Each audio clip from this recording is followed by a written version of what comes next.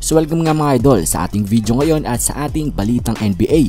Para nga sa ating unang topic, pag-uusapan natin ang naging interview ni ni Rajon Rondo sa kanyang pagbabalik dito sa Los Angeles Lakers. Dahil natanong nga siya about sa kanyang bagong kakampi na si Russell Westbrook. Dahil kung hindi nyo nga alam mga idol ay medyo merong tension nga sa kanilang dalawa. Dahil ang brother nga neto ni Rajon Rondo at si Russell Westbrook ay nag-away nga nung last year sa NBA bubble nung nasa Houston Rockets pa nga edong si Russell Westbrook. Tapos nung last year naman sa Wizards na si Westbrook sa Atlanta ko naman si Rajon Rondo ay medyo may pag-aaway nga sila sa gitna ng laban. At ngayon matapos ng isang taon ang isang season, ito magkakamping nga sila dito sa team ng Los Angeles Lakers.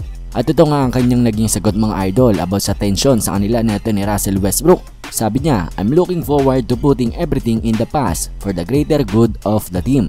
Handa nga daw itong si Rajon Rondo mga idol na mag-move on nga about sa kanilang pag-aaway neto ni Russell Westbrook at sa hindi nila pagkakaintindihan para nga daw sa ikabubuti ng kanilang team na Los Angeles Lakers. So napakagandang balita nga niyan sa Los Angeles Lakers dahil ang kanilang dalawang veteranong point guard handang ang iwan ang kanilang hindi pagkakaintindihan para nga sa ikabubuti ng Lakers team na ito.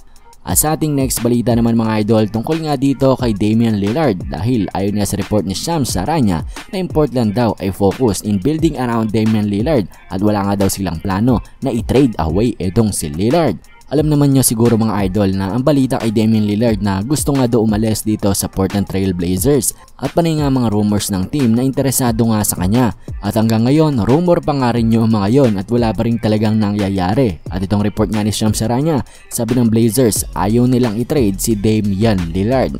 Pero wala rin naman silang magagawa kapag si Lillard na mismo ang humingi ng trade. So kaya ang focus nga nila ngayon i-improve ang kanilang team para nga maging masaya itong si Damian Lillard dito sa Portland Trail Blazers dahil sinabi niya nga rin ang kanyang frustration about sa team about nga sa kanilang pag-underachieve last year sa NBA playoffs at hindi nga masaya si Lillard doon.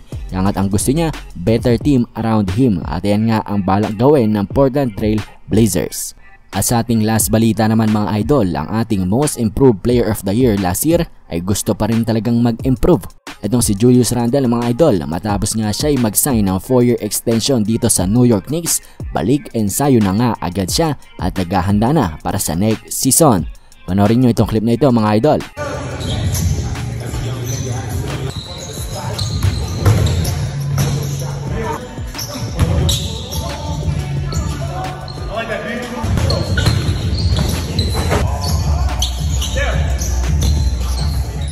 So yun nga lamang mga idol para sa ating video ngayon at sa ating mga balitang NBA. Pero bago natin tapusin ang ating video, shoutout muna sa ating mga manonood na sila Jeffrey Pineda, itong sila Yuri Mendoza, kay Gamlot Kim at kay Eric Kimilat. Maraming salamat sa inyong panonood mga idol.